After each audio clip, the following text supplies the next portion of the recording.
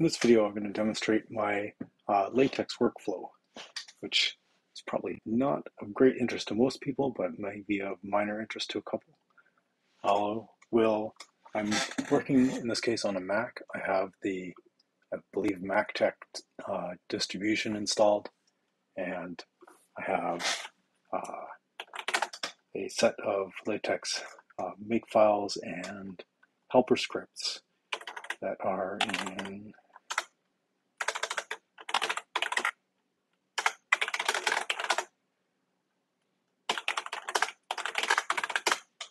They are in a GitHub repository. I'll put a link to that in the in the uh, notes. So in that LaTeX repository, which I have in my path, I have a couple little scripts. Uh, the most useful of those is this LT script. I've got some scripts also for generating blog post contents from standard LaTeX uh, and some make files. And makefile fragments. So I have, if I, if I uh, create a makefile uh, using my template, it's got some basic rules and I create a file here with some standard junk in it.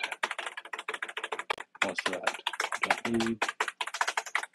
So I have I have my own set of of uh, STYs with various macros and some prolog stuff and preamble and so forth. And once I use this,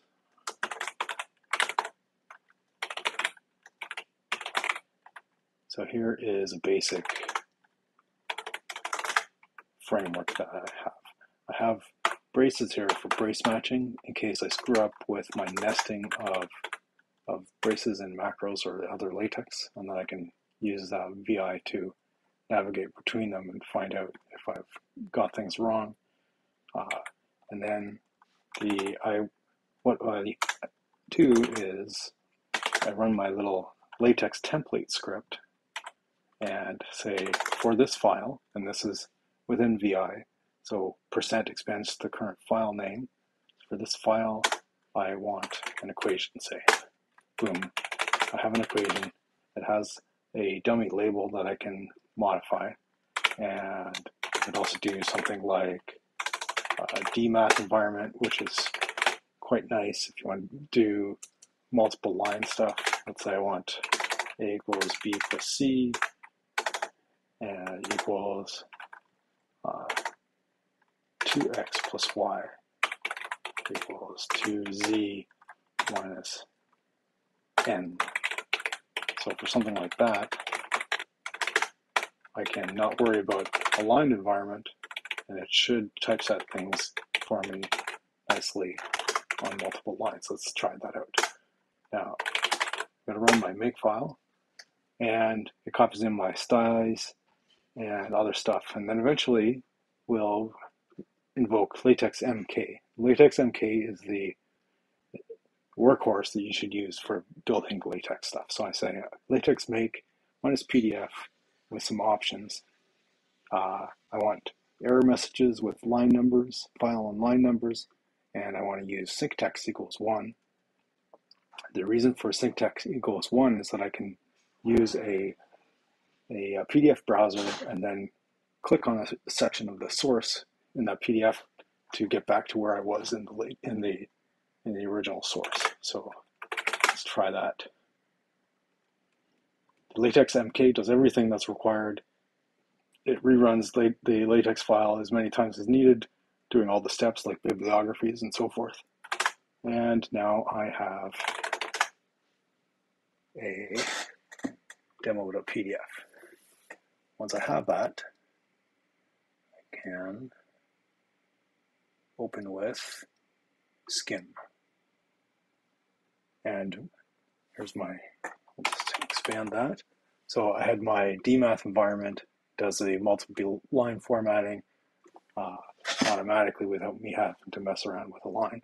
So, but let's say I want to mess around with align for, for whatever reason, because DMath screws up in some cases. So I do control, oops, that's, that was alt click, which is control click on the Mac. And try control click. Ah, there we go. So that was shift command click. Let's see, double check that. Okay, shift command click was the magic sequence. And then that pops me up into the code and usually pops me right into the formula, but if I move away from that point. Okay. Anyways, it, it's a you can go back from your PDF into your source. There's a there's a Windows uh, uh, PDF viewer uh, that also does that. It starts with a K. It's an impossible impossible Polish kind of name with K's and Z's and Y's.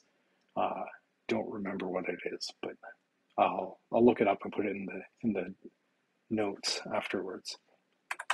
But let's say I wanted to turn this into uh, an equation with align instead.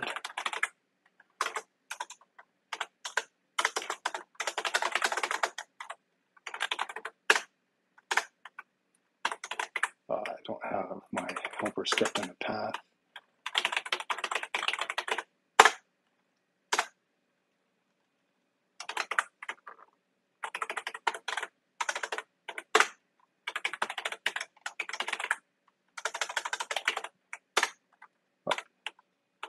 So if I have an equation instead of dmath, put in aligned, put in line continuations and so forth. So here is line stuff.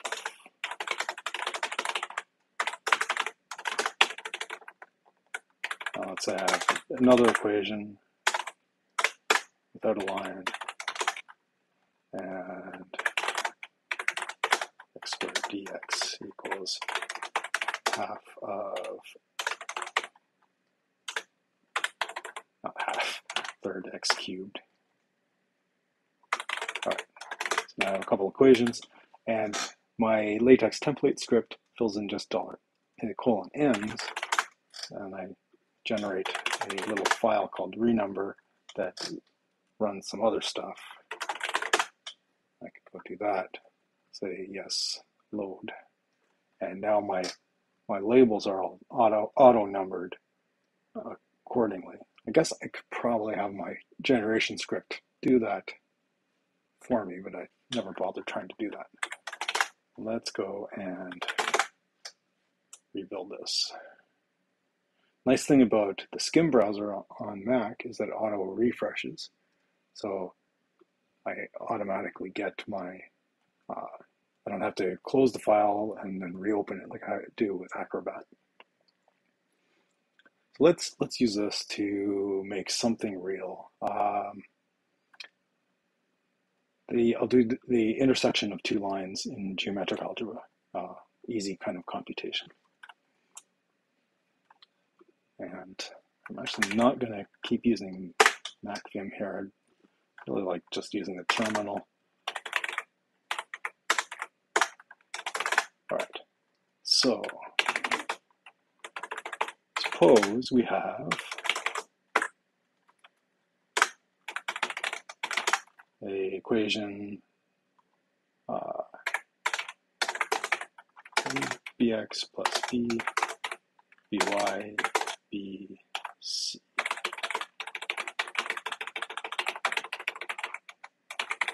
ABC as my variables. And in my macros, I have boldface macros, like math boldface A. So this gives me an easy way of typesetting a vector. Uh, if I wanted to have a vector look like a vector uh, over vector, I could I could change the macro and then not have to change the code. So it gives me a way of decoupling things. So if I have an equation like this, and I want to solve this for x and y, uh, how would I go about doing that?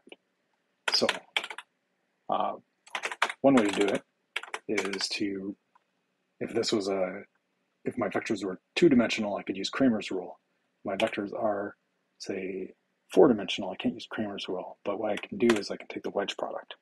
So if, let's say, given a two variable problem,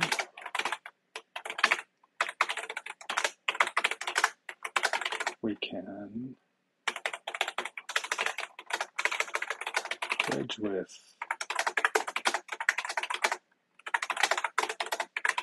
A or B to remove dependencies on the other.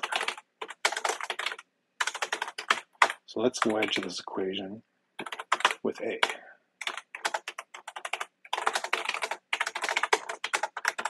Now, the uh, this style, this is a, equivalent to dollars, but I like this better because it has a beginning and end that you can parse. So if you want to turn this into a different style of latex, like for uh, math.stack exchange or something like that, you can have a script that that makes those kinds of transformations. So I, I use uh, I use something like this. I don't use the dollars to denote my inline latex. But instead, I use the begin and end symbols, but they're equivalent. All right, so go back to this problem.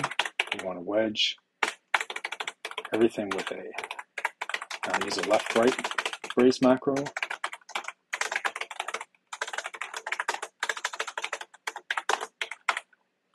And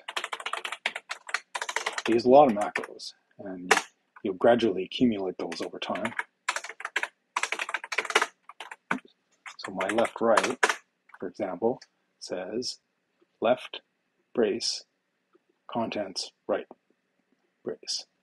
So this way I have an easy way that I don't have to to worry about putting lefts and rights in to automatically resize the, the braces if if I want them. I just have my macro do that for me. And so So that's what we wedge with A, but because we have A and A here, this term is cancelled because A wedge A is zero, and so we are left with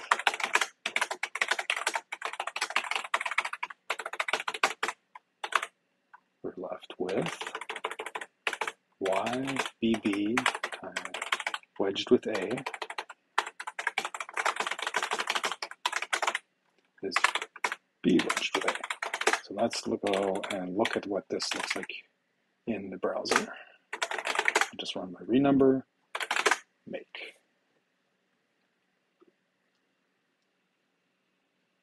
All right, so we have our equation. We wedged everything with A, we killed our XA term, and we're left with an equation for Y, which we can solve by division. and it would look better if we cancel the whole thing XBA. All right, so once we do that, now we have solution for y if it exists.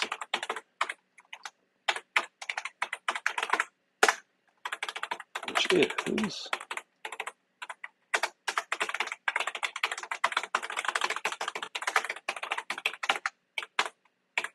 y is the fraction of b wedge a over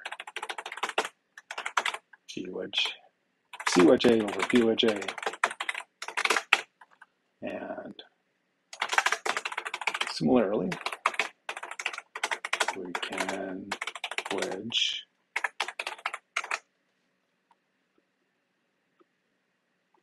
our equation with B.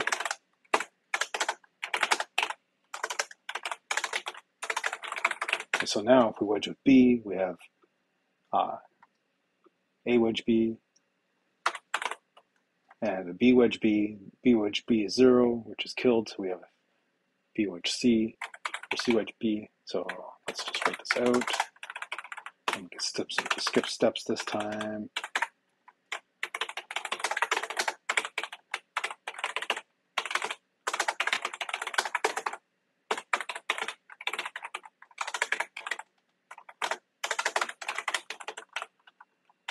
Okay, so here is an example of mismatch braces. And that's why it's useful to have an end point so you can do do it without even thinking. Shift 5, yeah. If I do a percent sign, it gives me brace matching. Get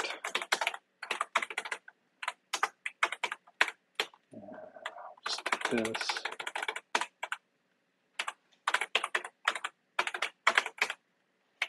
So C wedge B divided by A wedge B is our X value. So you basically you see that we have a Cramer's rule structure here.